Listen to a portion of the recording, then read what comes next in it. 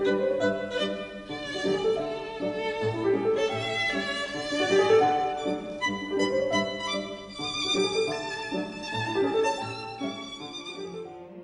Tom Flengertnerger.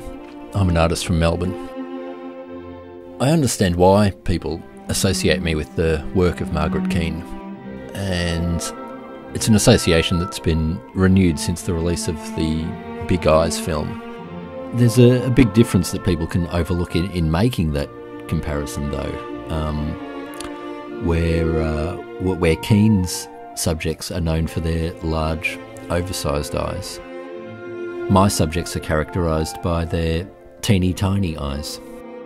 Large eyes I find can be quite confrontational, but uh, but teeny tiny eyes are not so much. There's a, a mystery and enigmatic quality to them, which is is something I really enjoy exploring. They they draw the viewer's gaze. You see teeny tiny eyes peering at you, and uh, you wonder what's going on behind them behind the teeny tiny eyes.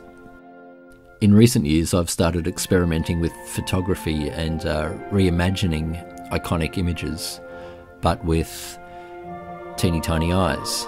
Um, a lot of these faces what we know so well, but I think the teeny tiny eyes bring out something in these faces that they reveal something that you don't get with uh, big eyes or or normal eyes. Yeah, I, uh, I don't think I'll ever tire of faces with teeny tiny eyes.